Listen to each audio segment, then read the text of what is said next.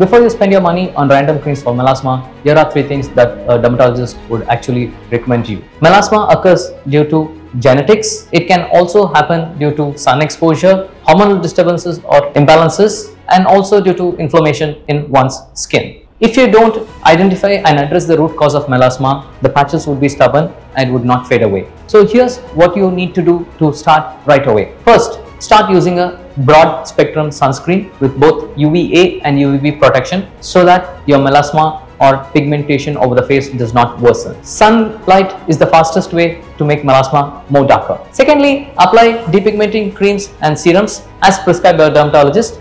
These medications help you to reduce the pigmentation safely over a period of time. Thirdly, you can use mild exfoliating agents which help you to exfoliate the superficial dead skin so that the pigmentation reduces over a period of time. Please remember to avoid harsh scrubs which can irritate your skin. You can also consider doing peel treatment and also laser treatments to reduce the pigmentation over the face but under the supervision of a qualified dermatologist. The treatment of melasma is not easy and requires patience but with the right approach and persistence you can achieve the desired results. Save this video so that you know exactly where to start.